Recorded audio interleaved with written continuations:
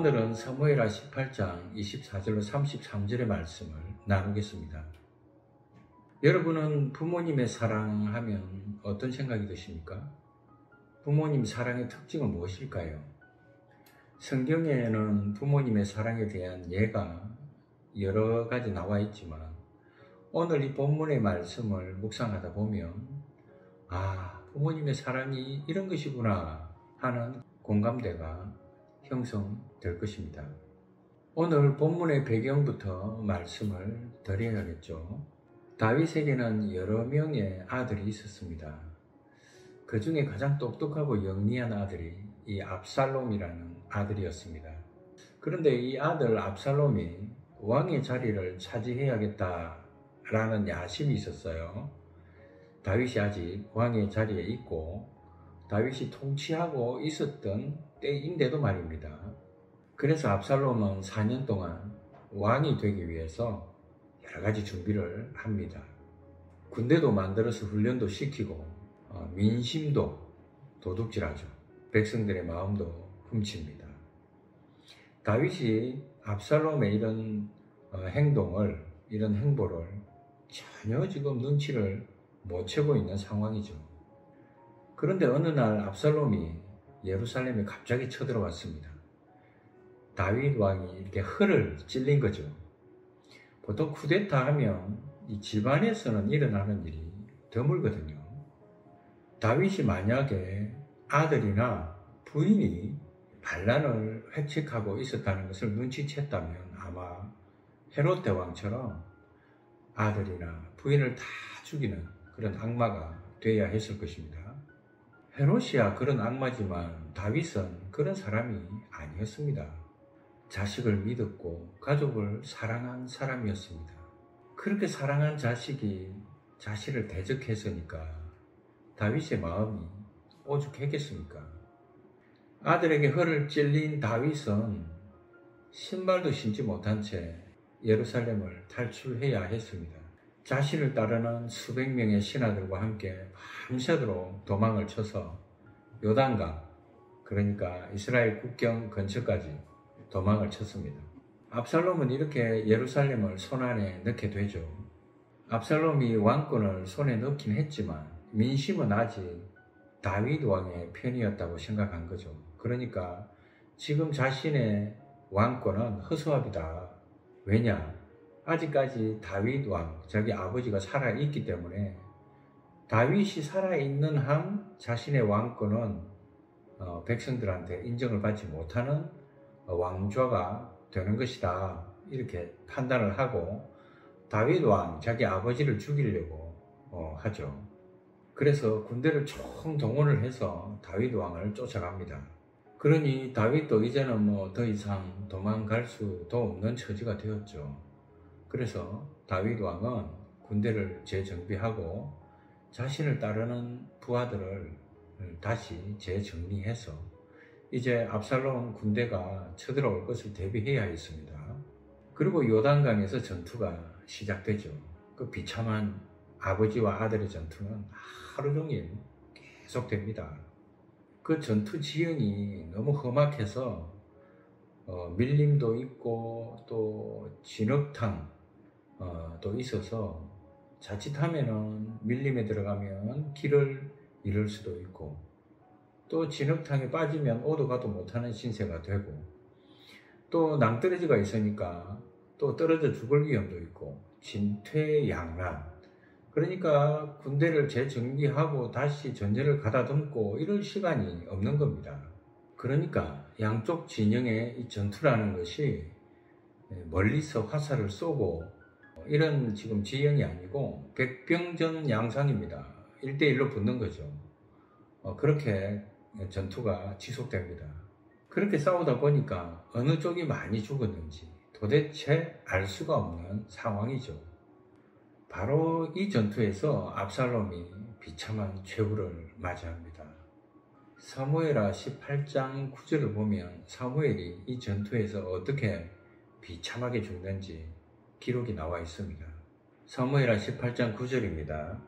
압살롬이 다윗의 부하들과 마주치니라 압살롬이 노새를 탔는데 그 노새가 큰 상수리 나무 번성한 가지 아래로 지날 때에 압살롬의 머리가 그 상수리 나무에 걸림에 그가 공중과 그 땅 사이에 달리고 그가 탔던 노새는 그 아래로 빠져나간지라.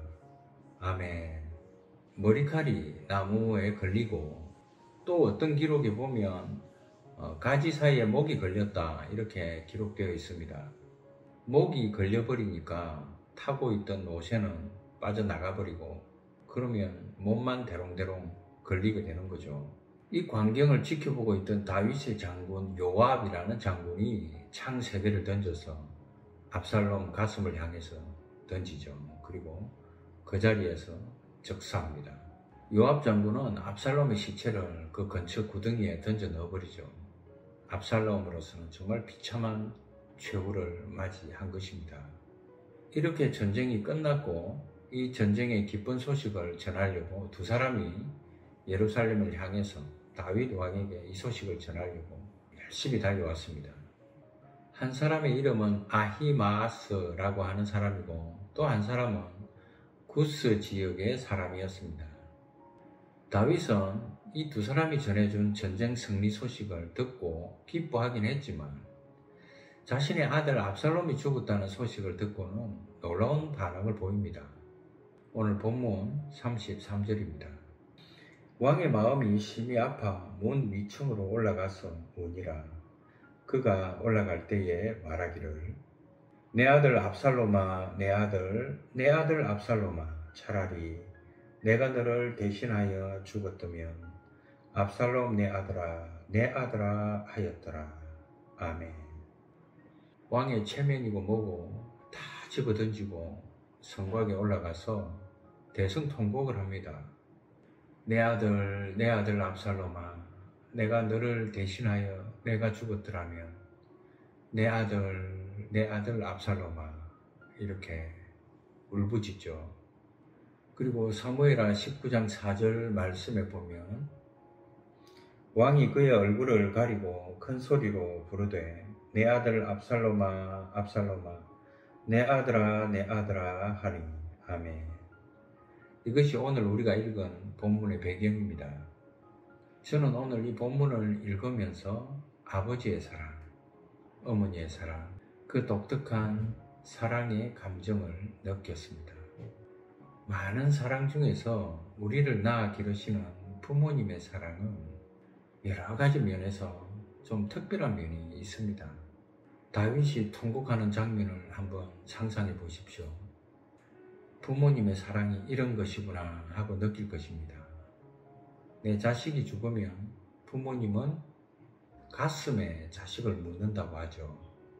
그런 것입니다. 아버지, 어머니의 이 부모님의 사랑을 어, 보면, 그 특성을 보면 세 가지 정도를 요약할 수 있습니다. 첫 번째 보면 부모님은 사랑할 가치조차 없는 자식까지 사랑합니다. 그것이 부모의 애정이죠. 압살롬은 불효 자식입니다. 불효 자식은 그래도 얌전한 표현입니다. 다윗에게는 원수 중에 원수죠. 원수 같은 자식 아닙니까? 자식으로서 있어서는 안 될 존재였고 아버지에게는 아버지의 영광을 가르는 아버지의 거리와 영광을 위해서라도 사라져야 할 자식이었습니다. 그야말로 무가치한 존재죠. 왜 이런 자식을 낳았을까 할 정도입니다. 가룟 유다처럼 차라리 나지 말았어야 할 존재 정도입니다. 압살롬은 다윗을 면전에서 속였죠. 반란을 일으키려고 떠날 때 다윗을 이렇게 속입니다. 사무엘하 15장 7절이죠. 4년 만에 압살롬이 왕께 아래되 내가 여호와께 소원한 것이 있사오니 청하건대 내가 헤브론에 가서 그 소원을 이루게 하소서. 아멘. 아버지를 면전에서 이 정도로 속일 정도면 얼마나 비열한 존재입니까? 그리고 그 마음이 얼마나 더럽습니까? 뿐만 아니라 압살롬은 자신의 목적을 이루기 위해서 수단과 방법을 가리지 않는 아주 비열한 사람이었습니다. 압살롬이 예루살렘을 점령했을 때 여러 사람들 앞에서 백성들 앞에서 아버지를 욕보이기 위해서 아버지의 후궁 10명을 차례대로 욕보이는 그런 일이 벌어지죠. 이제 다윗의 그 정권과 왕권이 자기에게로 넘어왔다는 걸 이제 자랑하려고, 과시하려고 어, 그런 짓을 벌인 겁니다. 이 소식을 들은 다윗의 입장을 여러분 한번 생각해 보십시오. 차라리 죽고 싶었을 것입니다. 구약을 보면 이런 비참한 예가 가끔씩 등장하죠. 그 좋은 예가 야곱입니다. 야곱의 열두 아들 중에 장자가 르우벤이라는 아들이죠. 이 장자 르우벤이 야곱의 네 번째 아내였던 어머니와 좋지 못한 관계를 가집니다. 이것도 야곱이 시퍼렇게 살아있을 때 그랬습니다. 이 사건이 야곱에게는 정말 천추의 한이 되죠. 그리고 야곱이 죽을 때가 되어서 이제 죽기 전에 자식들을 앞에 두고 유언을 하는 장면이 있습니다. 당시에 족장들이 죽을 때는 자식들에게 이렇게 축복의 유언을 하는 전통이 있었습니다. 아들들이 모두 야곱 앞에 모여서 아버지가 어떤 축복을 주실까 하고 잔뜩 기대하고 있었죠. 야곱은 장자 르우벤부터 축복을 주기 시작합니다. 창세기 49장 3절로 4절입니다. 르우벤아 너는 내 장자요 내 능력이요 내 기력의 시작이라 위풍이 월등하고 권능이 탁월하다마는 물의 끓음 같아선즉 너는 탁월하지 못하리니 내가 아버지의 침상에 올라 더럽혔음이로다. 그가 내 침상에 올랐었도다. 아멘. 이 탁월하지 못하다라는 말은 네가 장자구실 앞으로 못할 거다 이런 뜻입니다. 그리고 내 침상을 더럽혔다고 말하죠. 죽으면서도 르우벤을 용서할 수가 없었던 것입니다. 야곱의 마음에 한이 맺힌 거죠. 압살롬은 아버지 다윗을 죽이기 위해서 군대를 총 동원해서 추적합니다. 이런 장면을 여러분 생각해 보십시오. 아버지에 대한 압살롬의 연민이라든가 이런 것 전혀 찾아볼 수가 없습니다. 권력이라는 것이 원래 그런 건지는 모르겠지만 정말 압살롬 무서운 사람이죠. 그런데 다윗은 전쟁 중에도 신하들에게 이렇게 말합니다. 사무엘하 18장 5절입니다. 왕이 요압과 아비세와 이때에게 명령하여 이르되 나를 위하여 젊은 압살롬을 너그러이 대우하라 하니 왕이 압살롬을 위하여 모든 군 지휘관에게 명령할 때에 백성들이 다 들으니라. 아멘. 이 전쟁에서 진다면 다윗도 살아남을 수가 없는 지금 환경입니다. 그러나 전쟁에서 다윗이 이기게 되더라도 자기가 이기더라도 자기 아들 압살롬은 죽이지 마라. 이렇게 신하들에게 지금 부탁하는 겁니다. 아버지는 전쟁을 하면서도 아들과 전쟁을 하면서도 이렇게 아들에 대해서 동정심을 보여주는데 아들은 아버지에 대해서 어떤 동정심도 찾아볼 수가 없습니다. 성경에 보면 그런 흔적이 전혀 없습니다. 그만큼 압살롬은 악한 아들이었죠. 그러나 이렇게 악하고 가치조차 살아있을 가치조차 없는 그런 아들의 존재를 아버지인 다윗은 끝까지 사랑했습니다. 그러니까 압살롬이 죽었다는 소식을 들었을 때 다윗이 모든 것 다 집어 던지고 대성통곡한 거죠. 이것이 바로 부모님의 사랑입니다. 부모님의 사랑은 하나님의 사랑과 닮았죠. 하나님은 우리를 어떻게 사랑하십니까? 우리가 하나님께 사랑받을 가치가 있습니까?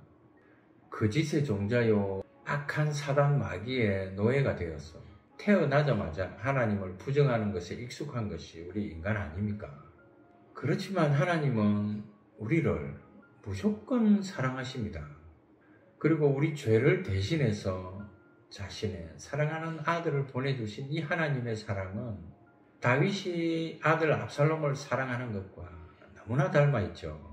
무조건적인 사랑입니다. 우리를 낳아주시고 길러주신 부모님의 사랑에는 이런 놀라운 면이 있습니다. 사랑할 가치조차도 없는 이런 자식을 끝까지 사랑하는 이런 놀라운 면이 이런 놀라운 사랑이 우리 부모님에게 있는 거죠. 두 번째로 부모님 사랑의 특징은 자식에게 허물이 있어도 다 부모님 탓이라고 하는 면이 있습니다. 모든 것이 다 자신의 탓이라고 하는 부모님 사랑입니다. 사실 압살롬이 이렇게까지 된 것은 다윗의 부모인 다윗의 탓이 없다고는 할 수 없죠. 다윗은 자신의 신하의 아내를 취하여서 후손을 낳았습니다. 그리고 그 씨앗의 열매를 그 후손이 취하고 있는 형국이죠. 사무엘하 12장 10절 말씀에 보면 이런 말씀이 나옵니다. 이제 내가 나를 업신여기고 햇사람 우리아의 아내를 빼앗아 내 아내로 삼았은즉 칼이 내 집에서 영원토록 떠나지 아니하리라 하셨고 아멘. 하나님은 다윗의 범죄는 용서는 해줬지만 그렇다고 심판을 면하게 해주지는 않았습니다. 칼이 영원히 내 집에서 떠나지 않으리라 라고 하죠. 그 칼이 지금 압살롬의 손에 쥐어진 것입니다. 그래서 압살롬은 자신의 형을 찔러 죽이죠. 그리고 아버지인 다윗을 찌르려고 달려드는 겁니다. 압살롬은 그 칼로 영원히 다윗의 집에서 떠나지 않을 것이라던 그 칼로 압살롬은 많은 사람을 죽였습니다. 사무엘하 12장 11절로 12절 말씀입니다. 여호와께서 또 이와 같이 이르시기를 보라 내가 너와 내 집에 재앙을 일으키고 내가 내 눈앞에서 내 아내를 빼앗아 내 이웃들에게 주리니 그 사람들이 내 아내들과 더불어 백주에 동침하리라. 너는 엄밀히 행하였으나 나는 온 이스라엘 앞에서 백주의 이 일을 행하리라 하셨나이다 하니 아멘. 다윗 네가 신하의 아내와 동침했으니까 그와 똑같은 일이 내한테 일어날 거다 이런 말씀입니다. 그런데 하필이면 그 사람이 자신의 아들 압살롬이라는 거죠. 기가 막히죠. 다윗의 입장에서는 기가 막힐 일입니다. 그러니까 압살롬이 악하게 된 궁극적인 배경의 책임은 다윗에게 있는 겁니다. 그러니까 압살롬이 죽었다는 소식을 들은 다윗의 그 절규, 그 고통 속에는 그 내면에는 내가 잘못해서 내가 아들 앞에서 제대로 된 삶을 못 보여줬기 때문에 그래서 내가 이 압살롬을 이렇게 만들었구나 아버지에게 칼을 들이대는 이런 아들을 내가 만들었구나, 내 탓이구나, 이런 어, 자기 내면의 고통이 있었던 것입니다. 부모님들은 그러죠. 자식이 잘 되면 다 그 공을 자식에게 돌립니다. 그러나 자식이 좀 잘 못되거나 자식이 행복하게 살지 못하거나 범죄를 저지르면 부모님들 대부분의 부모님들은 자식의 탓으로 돌리지 않고 보통 내 탓이다 이렇게 말씀합니다. 내가 좀 더 잘 가르쳤으면, 내가 좀 더 잘 먹였으면, 그렇죠? 그렇게 부모님 탓으로 돌려버립니다. 하나님 사랑과 닮았죠. 우리 허물, 우리 잘못, 우리의 악한 것, 우리 못난 것을 우리 책임으로 돌리지 않습니다. 예레미야 17장 9절 말씀입니다. 만물보다 거짓 빼고 심히 부패한 것은 마음이라 누가 능히 이를 알리오마는 아멘. 그리고 창세기 6장 5절 말씀입니다. 여호와께서 사람의 죄악이 세상에 가득함과 그의 마음으로 생각하는 모든 계획이 항상 악할 뿐임을 보시고 아멘. 그러나 그 책임을 우리에게 돌리지 않으시고 그 모든 잘못 책임을 하나님이 뒤집어 쓰셨습니다. 내 탓이요 한 겁니다. 우리 모든 죄값을 자신의 아들 예수 그리스도에게 다 맡겨서 그 머리에 죄를 다 뒤집어 씌우고 내 탓이야. 그러니 내가 당해야지. 그러고는 십자가에서 그 아들을 희생시킨 것이 바로 우리가 믿는 하나님 아버지입니다. 하나님의 사랑과 아버지로서의 다윗의 그 사랑 어쩌면 이렇게 닮았을까요? 혹시 여러분의 형편이 지금 부모님에게 근심과 걱정을 주고 있습니까? 실패하고 가난하고 걱정이 많고 우환이 있습니까? 아픈 상처들이 가정에 있습니까? 그렇다면 지금 이 시간에도 여러분의 부모님들은 여러분을 위하여 내 탓이요 하면서 눈물 흘리고 계시다는 것을 기억하시기 바랍니다. 여러분의 자녀를 한번 생각해 보십시오. 여러분의 자녀를 생각하면 금방 이해가 되실 겁니다. 세 번째, 부모님 사랑의 특징은 자신의 영광과 자신의 행복과 자신의 생명보다 더 앞세우는 것이 자식의 영광과 자식의 사랑과 자식의 생명입니다. 이것이 부모님의 사랑이고 다윗에게서 배울 점이죠. 본문 33절 말씀입니다. 내 아들 압살롬아, 내 아들, 내 아들 압살롬아, 차라리 내가 너를 대신하여 죽었다면 압살롬 내 아들아, 내 아들아, 내 아들아 하였더라. 아멘. 내 아들 압살롬아 한 다음에 그 다음에 뭐라고 하죠? 내가 너를 대신하여 죽었다면 이렇게 말하지 않습니까? 내가 너를 대신하여 죽었더라면 더 좋았을 것을 이라고 말합니다. 사무엘하 19장 5절로 6절 말씀입니다.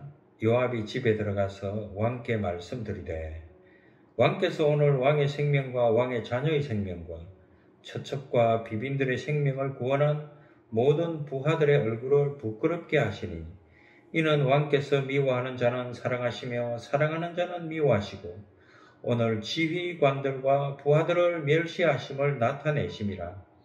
오늘 내가 깨달으니 만일 압살롬이 살고 오늘 우리가 다 죽었다면 왕이 마땅히 여기실 뻔하였나이다. 아멘. 왕이 대성 통곡하고 있는 장면이 신하들의 눈에는 이렇게 보였다는 겁니다. 아들을 나라보다 앞세우고 아들을 왕권보다 앞세우는 다윗을 보고 신하들이 지금 화가 안 나겠습니까?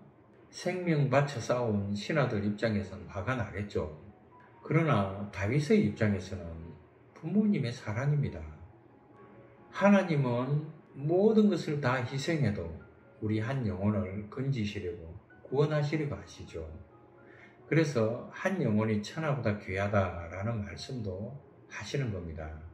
그래서 가장 아끼는 아들을 희생하면서까지 우리를 구원하시려고 하는 계획을 세우신 겁니다.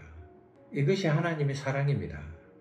이렇게 부모님의 사랑에는 완벽한 이런 요소가 들어 있습니다.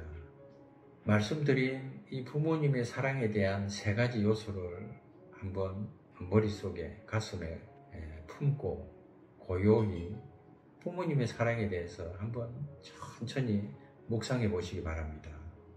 그 사랑을 우리는 빨고 마시면서 먹고 살았습니다. 어버이날이 되면 카네이션만 가슴에 달아준다고 능사가 아닙니다. 그 부모님의 사랑을 천천히 한번 새겨보시기 바랍니다. 조용히 그 사랑을 한번 새겨보는 것이 중요합니다. 그런데 요즘 사람들은 어떻습니까?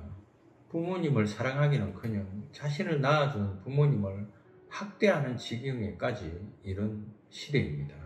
늙으신 부모님을 학대하는 젊은이들, 또 나이 많이 드신 부모님을 가까이 하고 싶어 하지 않는 젊은이들이 점점 늘어나고 있죠. 이런 반면에 장수하는 노인들은 또 늘어나고 있습니다. 언젠간 우리도 일본처럼 전체 인구의 10%가 노인으로 채워질 것입니다. 대부분의 젊은이들은 부모님이 늙고 경제력이 없어지면 귀찮아합니다. 그래서 누구나 나이가 들고 늙으면 달팽이 인생이 된다고 하죠. 누군가 앞에 나타나면 몸을 달팽이 집 속으로 넣는 것처럼 쏙 들어가서는 꼼짝도 하지 않는 겁니다. 그러다가 조용해지면 다시 몸을 밖으로 내놓고는 움직입니다. 부모님들이 자식들 비위 맞추느라고 눈치 보느라고 자식들이 기분이 좀 좋아 보이면 나와서 자식 비위를 맞추는 겁니다. 자식들의 분위기가 좋지 않으면 방 안에만 틀어박혀서 자식들 눈치만 보고 있는 거죠. 얼마나 가련한 인생입니까? 사람 대우를 해줘야죠. 하나님과 같은 사랑으로 부모님들이 우리를 그렇게 그런 사랑으로 키우면 그렇게 머리가 커져버린 자식들은 왜 이기적인 자식이 될까요? 우리나라는 유교 문화권이죠. 그래서 부모님들을 끔찍하게 섬기고 사랑하는 것이 우리 전통이죠. 여러분 이순신 장군의 일기를 읽어보신 적이 있습니까? 이순신 장군의 일기장에 이런 글이 있습니다. 아침에 흰 머리털 연암은 개를 뽑았다. 흰 머리털인들 무엇이 어떠하리요마는 다만 위로 늙으신 어머님이 계시기 때문이다. 이게 무슨 뜻입니까? 자신의 흰머리를 보고 백발의 어머니가 쏘가리를 하실까봐 어머니가 보지 않을 때 흰머리를 뽑았다. 그런 말입니다. 부모님을 향한 이순신 장군의 심정이죠. 유교권에 있었던 우리나라 사람들은 이렇게 지극한 효심이 있었습니다. 그런데 기독교 문화권에서는 우리는 왜 이럴까요? 성경이 사서오경보다 못한 책입니까? 예수님이 공자보다 못합니까? 유교의 능력이 기독교보다 앞선다는 말인가요? 왜 기독교 문화권에 사는 젊은이들은 점점 이기적인 사람이 되어갈까요? 성경 어디가 그렇게 가르칩니까? 기독교만큼 이타적인 종교가 어디에 있습니까? 고린도전서 10장 24절에 보면 이런 말씀이 나오죠. 누구든지 자기의 유익을 구하지 말고 남의 유익을 구하라. 아멘. 우리는 이런 말씀을 매일 또는 일주일에 한 번씩 매일 읽는 사람도 있고 일주일에 한 번씩 읽는 사람도 있고 기억하고 암송도 합니다. 그럼에도 불구하고 가장 가까운 부모님에게조차 우리 효심을, 우리 효도를 하지 못하는 이 무서운 이기주의는 무엇 때문일까요? 왜 우리는 이 무서운 이기주의에서 자유하지 못합니까? 왜 그럴까요? 이런 풍조 가슴 아파해야 합니다. 부끄러워해야 합니다. 괴로워해야 합니다. 우리가 회개하고 또 효를 실천하기 위해서 네 가지 간단한 실천 요소를 말씀드리고자 합니다. 이것을 명심해서 실천하면 좋겠습니다. 첫 번째로는 자식을 향한 변함없는 부모님의 사랑을, 애정을 매일매일 습관적으로 마음에 되새기는 이 습관을 가지시기 바랍니다. 나를 키워주신 부모님의 사랑이 어떤 사랑인지 가슴에 되새기는 그런 습관을 가지시라는 말입니다. 내 남편을, 내 부인을 이렇게까지 키워주신 부모님의 사랑이 어떤 사랑이었는지 가슴에 한번 새겨 보시라라는 말씀입니다. 앞서 말씀드렸듯이 사랑할 가치도 없는 자식까지도 사랑하는 부모님의 사랑. 자식의 모든 잘못을 부모님 탓으로 돌리는 그런 부모님의 사랑. 자기 생명보다 자식의 생명을 더 앞세우는 부모님의 사랑. 이런 부모님의 사랑을 하루에 한 번이라도 되새겨보는 습관을 가지시라 이런 말씀입니다. 그런데 왜 우리는 이런 부모님의 사랑을 잊을까요? 왜 망각할까요? 왜 그런 적이 없었던 사람처럼 행동할까요? 두 번째는 늙으신 부모님의 입장을 한번 생각해 보라는 겁니다. 역지사지 해 보라는 거죠. 처지와 입장을 바꾸어서 생각해 보자 라는 말씀입니다. 내가 저 부모님의 나이가 되면 어떻게 될까? 이렇게 입장을 한번 바꾸어 놓고 생각해 보자 라는 겁니다. 이건 대단히 중요합니다. 여러분이나 저나 20, 30년 후면 우리 부모님의 나이가 안 되겠습니까? 그때가 되면 부모님을 대하는 태도가 또 달라질 것입니다. 세 번째는 심은 대로 거둔다는 냉혹한 법칙을 잊지 말아야 합니다. 부모님을 제대로 모시지 못하면 그 씨앗은 내가 반드시 거두게 되어 있습니다. 심은 대로 거둡니다. 네 번째는 부모님을 사랑하는 사랑의 실천을 하지 못한다면 그 외 모든 사랑의 실천은 헛것입니다. 수포로 돌아간다는 얘기입니다. 요한 1서 4장 20절입니다. 누구든지 하나님을 사랑하노라 하고 그 형제를 미워하면 이는 거짓말하는 자니 보는 바 그 형제를 사랑하지 아니하는 자는 보지 못하는 바 하나님을 사랑할 수 없느니라. 아멘. 여기에 형제라는 말 대신에 부모님을 한번 넣어보세요. 누구든지 하나님을 사랑하노라 하고 그 부모님을 미워하며 이는 거짓말하는 자니 보는 바 그 부모님을 사랑하지 아니하는 자는 보지 못하는 바 하나님을 사랑할 수 없느니라. 아멘. 부모님을 사랑하지 않는다면 그가 하는 모든 사랑은 다 거짓이라는 겁니다. 오늘 어버이 주일을 맞이하여 특별히 부모님 사랑을 말씀드리는 이유는 특별히 예수 믿는 사람들이 이 부분을 실패해서는 안 된다는 점을 강조하기 위해서 말씀을 드리는 겁니다. 탁월한 진리죠, 기독교는. 이 기독교의 놀라운 진리를 품에 품고 어, 살아가는 사람들이 부모님의 놀라운 언덕을 잊어버리고 나이 든 사람들을 학대한다면 또 어, 늙으신 분들을 냉대하거나 냉혹하게 대하거나 귀찮아하거나 한다면 차라리 안 믿는 것이 낫습니다. 오히려 교회 다니는 것이 부끄럽습니다. 그러므로 이 네 가지 사실을 꼭 기억하시기 바랍니다. 부모님의 사랑을 매일 한 번씩 되새겨 보자. 나이 드신 부모님의 입장과 내 입장의 처지를 한번 바꿔놓고 생각해 보자. 그리고 심은 대로 거둔다는 법칙을 잊지 말자. 끝으로 부모님을 사랑하지 못하면 그 나머지 사랑은 전부 위선이고 실패한다는 점을 명심하시고 기억하시기 바랍니다.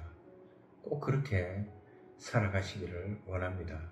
오늘 이 말씀 가슴 속에 깊이 깊이 기억하셔서 이제 얼마 남지 않은 우리 부모님의 생을 지극한 하나님의 사랑, 그 무조건적인 사랑에 대한 은혜로 알고 자식으로서 최선을 다해서 부모님을 섬기는 그런 우리 어, 성도님들 다 되시기를 예수 그리스도 이름으로 축원드립니다. 아멘. 기도하겠습니다. 하나님 아버지, 오늘은 어버이 주일로 예배를 드립니다. 우리가 하나님의 사랑을 간접적으로 알 수 있는 것은 오직 부모님의 사랑 때문입니다. 부모님의 그 놀라운 사랑을 기억하게 하시고 또 늙으신 부모님의 입장이 되어서 생각하게 하시고 내가 부모님에게 하는 만큼 내 자식도 그 모습을 보고 배운다는 사실을 기억하게 하옵소서. 특별히 기독교의 진리 안에서 하나님의 축복을 누리는 우리 그리스도인들이야말로 부모님의 사랑에 감사하고 감격할 줄 아는 사람들이어야 하는 줄 믿습니다. 오늘 예배의 주인이 되어 주시고 우리에게 놀라운 사랑을 부모님을 통하여 체험케 하시고 가르쳐 주시는 예수 그리스도 이름으로 기도드립니다. 아멘.